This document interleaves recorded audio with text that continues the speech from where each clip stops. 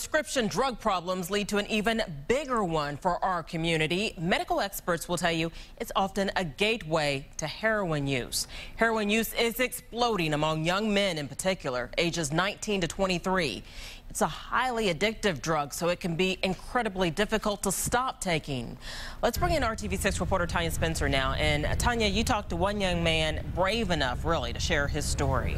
That's right, Erica. And when we say that the heroin problem is exploding, well, here are some numbers to prove it. The Metro Police Drug Task Force, in just the first half of this year, has seized more than 3,000 grams of heroin. That's up more than 340 percent, a 340 percent increase from last year. And it's all walks of life falling into this very dangerous addiction.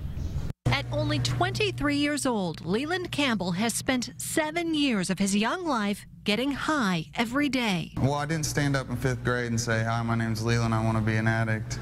No, I said I. Uh, I think I said I wanted to be an astronaut. So I, you know, I didn't.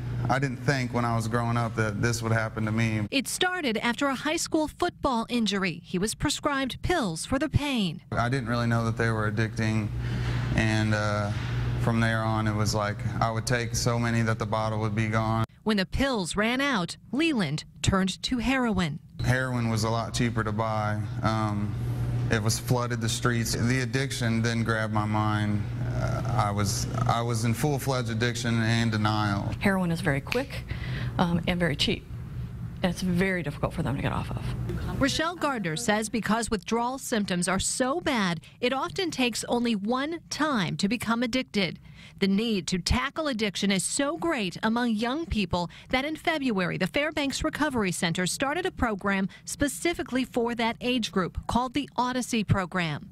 The need was higher than even they expected. We started on a 16 bed unit, um, and within six weeks had to flip our programs to a 24 bed unit um, because of the need um, uh, of that population. The thing is, is it doesn't discriminate.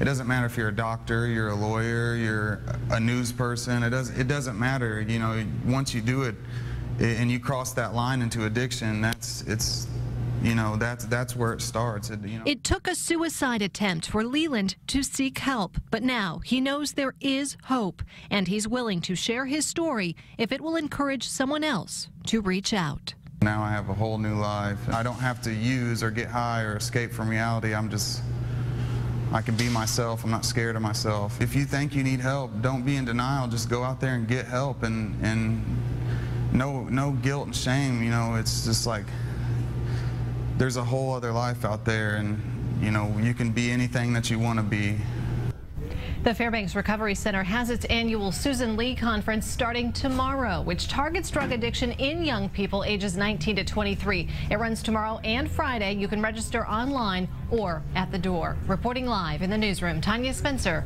RTV6. Let's talk about addiction and overdoses now. In the United States, one person dies every 25 minutes of an accidental drug overdose. And that's why the state has launched a new campaign targeting doctors who overprescribe medicine and warning families of the dangers of extra medicines around the home.